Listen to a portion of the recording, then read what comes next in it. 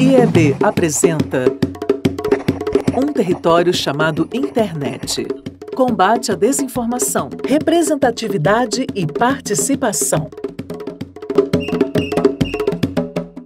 Você já parou para observar como há poucos negros, indígenas, LGBTQIAP+, e pessoas com deficiência, além de outras minorias, nos jornais, propagandas, novelas e filmes? Por que negros e negras são, na maioria das vezes, retratados como empregada doméstica, o cobrador, a cuidadora, o bandido? Ou então, por que é tão comum os indígenas aparecerem de maneira folclorizada, como se fossem primitivos? Já notou que os principais jornais do Brasil dão muito mais visibilidade ao que acontece em São Paulo, Rio de Janeiro e Brasília, como se as outras regiões nem existissem? Por que as notícias sobre a região Norte e Nordeste têm menos destaque? Por que o que acontece no Amapá, Rondônia, Acre, Amazonas quase nunca vira notícia? A mídia tem um papel fundamental de formação e construção de saberes, imaginários, ideias, opiniões, representações e identidades. Mas a verdade é que ela não reflete a diversidade da população brasileira. Questões de gênero, raça, etnia, orientação sexual, origem, crenças e convicção política precisam ser respeitadas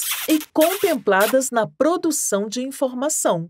Peraí, mas o que eu posso fazer em relação a isso?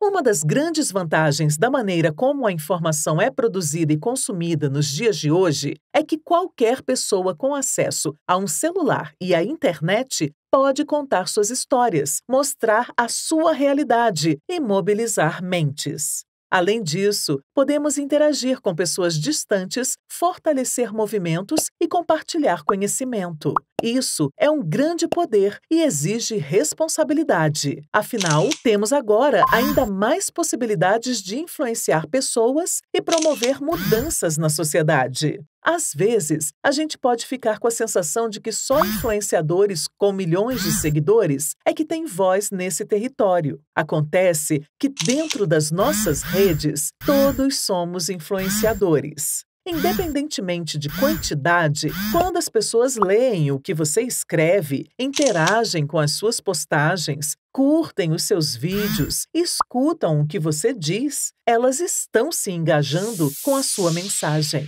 E ver uma mensagem positiva que você semeou crescer como uma árvore bem forte, fazendo diferença na vida de outras pessoas, é muito legal. Além disso, ter atenção à forma como a diversidade é representada é um passo fundamental para não promover informações que podem depreciar diferentes formas de ser e estar no mundo. Precisamos lutar por uma mídia mais inclusiva e humanizada. A nossa sociedade só pode ser verdadeiramente democrática quando os diferentes jeitos de existir e as diferentes vozes, opiniões e culturas tiverem espaços igualitários para se manifestarem. Por isso, divirta-se, crie, curta, compartilhe, mas também seja consciente do seu papel neste território chamado internet.